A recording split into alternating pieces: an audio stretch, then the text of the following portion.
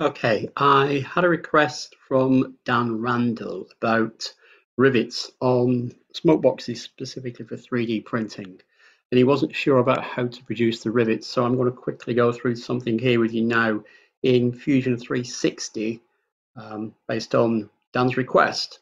So we start by creating a sketch in the usual manner.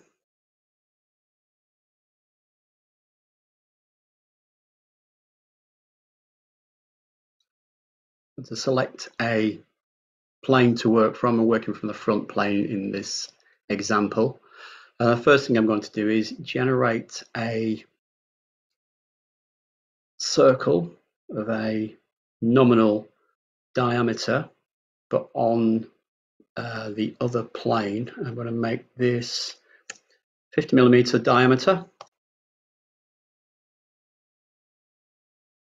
Yeah, is where Fusion always kind of like, as everyone knows, sits and decides it's going to do something. Now we've got our 50 millimeter diameter circle. I'm now going to generate an axis in the center. Nominal length, I'm just doing 16 mil. It can be any any length. It's not necessary to be anything specific in this case. And then I'm going to create another circle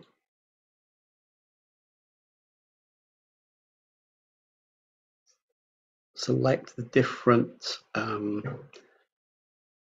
plane to work from again. And I'm going to make this also 50 millimeter diameter. So that basically we've got one above the other, as you can see. Now I'm going to generate a line 25 millimeters I think that's gone in the wrong place. Apologies. Yes, we need to be on.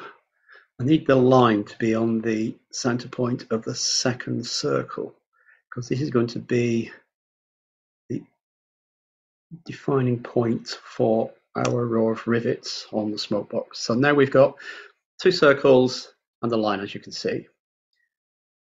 Now at this intersect, intersect point, I'm going to generate another circle, this time in the front plane that we started with, and I'm going to make these 0.75 millimeter diameter, roughly the similar size to a, um, a 5 8 7 8 size rivet that you would get on a locomotive. Okay, so this is what we've got. This is where we start from.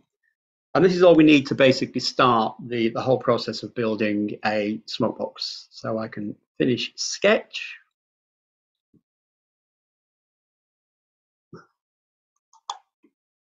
And now the next option is to select the bottom circle and we do an extrusion in the normal manner.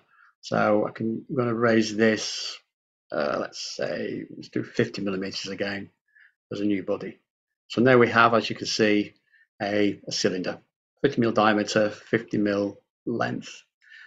I now need to reactivate the sketch because we're going to now take the 0.75 mil diameter circle. We're going to do another extrusion, but now we're going to extrude two sides because it will need to extrude back into the cylinder because currently it's on the face. So side one, in theory, is the front, which will extend out.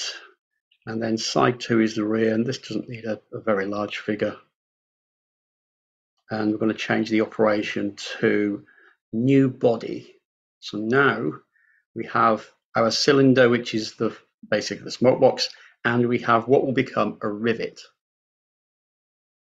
So if we now look here, we've got two separate bodies.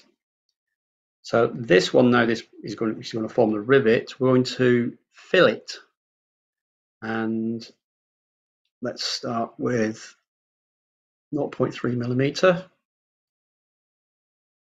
as a rolling ball, constant radius. Press OK. Then we can just rotate And we can see that that hasn't gone all the way to the side of the smokebox side. So if I click here, right mouse click, edit feature, now we change this figure to 0.35. Okay. And then we, we can see we've got much better representation of a domed rivet now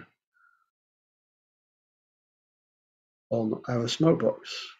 So Dan's Dan's real question was how do you generate a circumference of rivets now, or you know, a set of rivets that go all the way around the outside of the smokebox.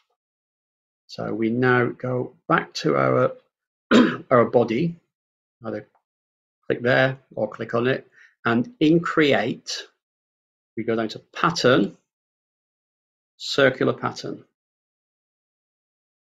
Now we've got one body selected. We now need to select the axis that we're going to generate all the additional rivets around. So click on axis. We can now click on our center vertical line, which is the axis for the two circles. And the distribution is full, so it goes all the way around. And that currently the quantity is three. And you can see just here and here, we've got two additional bodies appear. So if I now change that to a 150, you can see straight away we get a lot more rivets being um, produced in, in, currently skeletal form until we press the OK. I press OK. You see on the left hand side here, all these additional bodies appear for all the independent rivets. If I close that and now remove the sketches, I'll switch the sketches off. You can see we have a nice set of rivets around the edge of this cylinder or smoke box. So I hope that's useful to anybody that's looking at doing this in 3D. And uh, certainly for Mr. Dan Randall, I hope it's helpful for you as well, sir. Thank you, everybody.